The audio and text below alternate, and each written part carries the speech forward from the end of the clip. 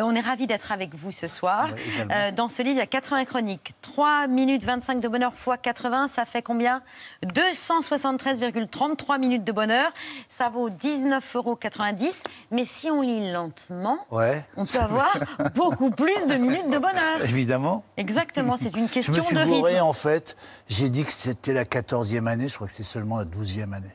Je me suis trompé. Bah, je crois que je 2009. commence la 13e année.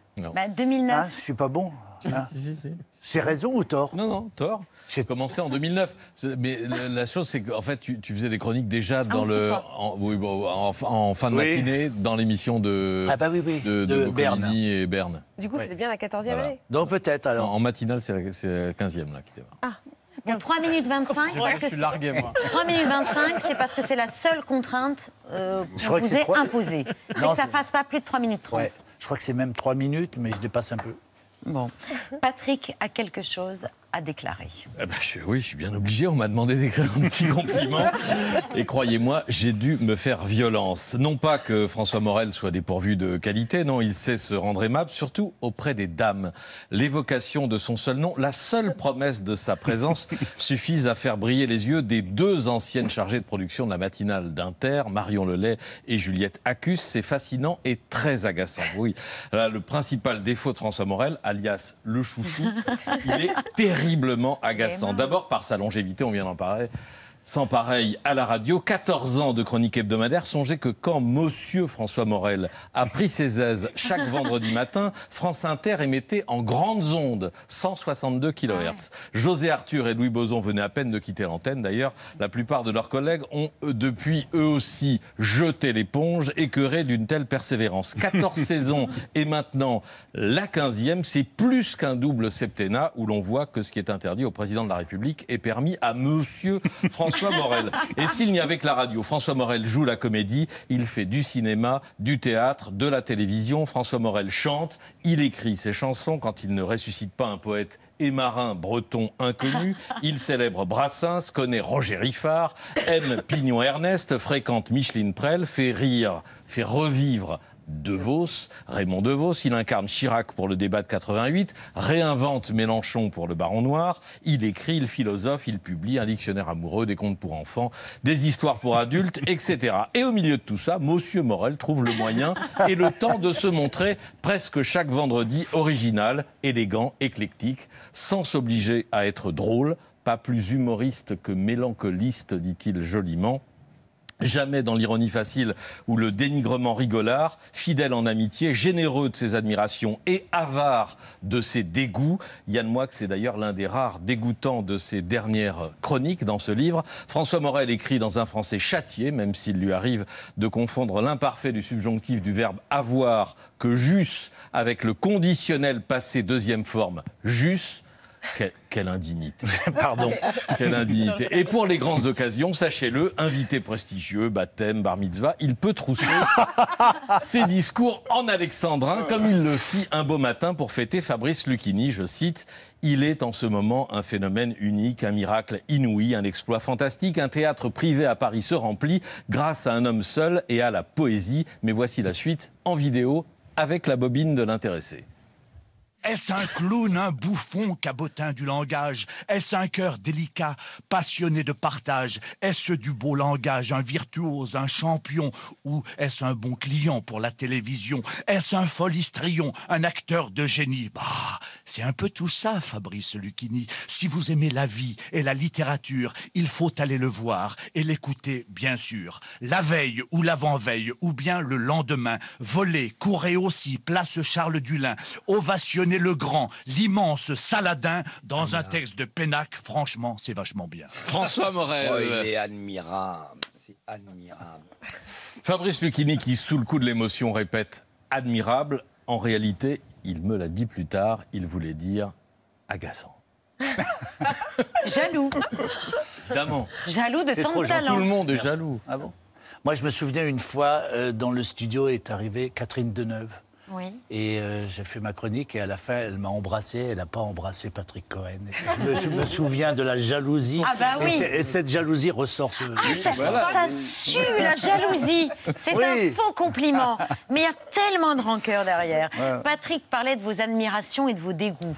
Euh, vos admirations plus nombreuses que vos dégoûts. Beaucoup vos admirations, c'est Brassens, que vous citez le plus souvent possible, Brassens et De Vos, parce que les moins de 20 ans, souvent, ne les connaissent pas. Et ça vous chagrine? Euh, oui, euh, en fait, ils font partie de ma vie, en fait. Euh, donc, euh, ils viennent régulièrement sous ma plume. Mais je me fais un peu violence parfois pour ne pas euh, citer. Brassens, parce que j'ai l'impression que sur tous les sujets, il y a une chanson de Brassens qui correspond. Donc là, maintenant, je m'interdis un peu. Vous vous censurez. Je l'ai déjà fait beaucoup, quoi. Parmi vos rares dégoûts, Patrick en parlait, Yann Moix, qui vous avait littéralement écœuré lorsqu'il avait déclaré que l'humoriste Pierre Palmade, à l'origine d'un terrible accident de la route, est très trop narcissique pour s'en vouloir au point de se donner la mort.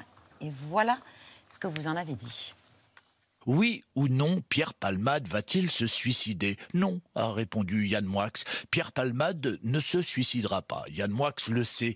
Il peut l'affirmer, il peut le certifier. C'est un spécialiste de l'âme humaine. Il n'attentera jamais à ses jours. Il s'aime trop pour ça.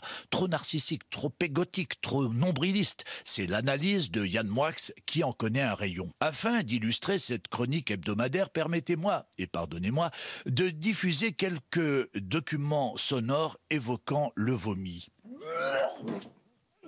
Je me demandais si on était déjà allé aussi loin dans l'ignoble, le sordide, le dégueulasse. Peut-être pas. Alors félicitons Yann Moix. Il est aujourd'hui champion dans l'ignominie, lauréat de la déclaration la plus odieuse, la plus sordide, recordman de la dégueulasserie. Vos chroniques, elles collent à votre humeur du jour. Et ce matin-là, l'humeur était... euh, Euh, Révolté, je quoi. c'est pas, c'est pas obligatoire de tirer sur les ambulances, quoi. Euh, Voilà, c'est tout. Voilà. C'était le message Ouais. de cette chronique. Euh, vous faites de plus en plus de- d'actualités euh, de politique et vous vous mettez en scène, euh, comme ici en mars 2022. Regarde chérie, j'ai pensé à toi. Ah, un plein d'essence Oui chérie, un plein d'essence rien que pour toi. Mais tu es fou Oui mon amour, je suis fou de toi. Mais tu crois qu'on peut se permettre? Ça a dû te coûter une fortune. Une blinde, oui. Mais n'y pense pas, rien n'est trop beau pour toi.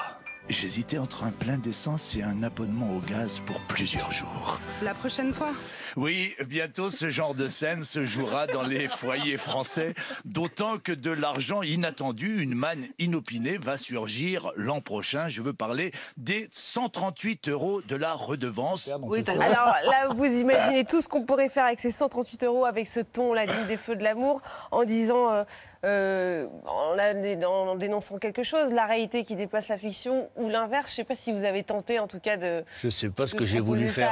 C'est un, un- euh, c'est un petit sketch. Oui. un- ouais, ouais. c'est- Ah oui, à ne pas message, avec un gros message. Ça me- oui, euh, peut-être un petit message, mais enfin, euh, c'était surtout pour. En fait, moi, j'essaie de m'amuser. Puis là, c'était l'occasion de voir Juliette Accus, euh, qui est quand même une grande comédienne. Donc, euh, c'était. non, je suis pas très bien. ouais. Vous expliquez que parfois, quand le texte je- est... En fait, je, je, je l'adore pas. euh, truc. enfin, je trouve ça un peu convenu. Je me dis, euh, en fait, c'est pas là où je- j'ai l'impression que je suis le plus pointu.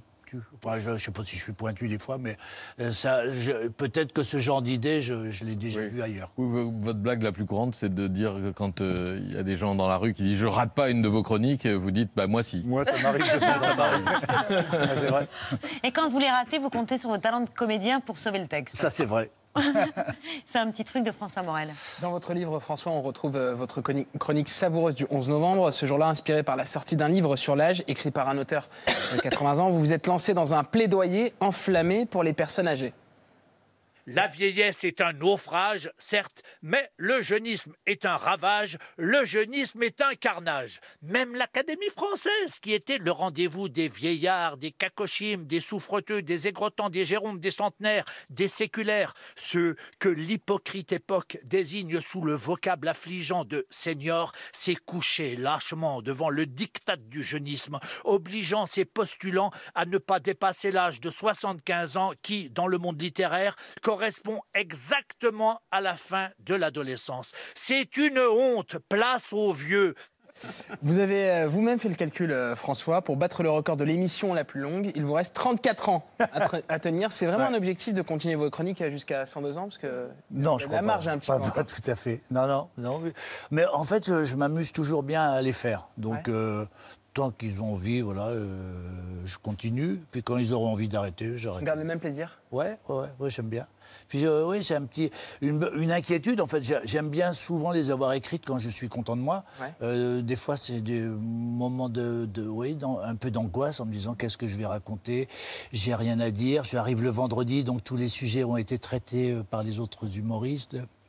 Et euh, mais ça continue à m'amuser, oui. Et puis vous- en fait, ça, euh, euh, et en fait, c'est quand même trois minutes de liberté absolue, plus que de bonheur en fait. Et, et donc, euh, je peux parler exactement de ce que je veux, de ce que j'aime.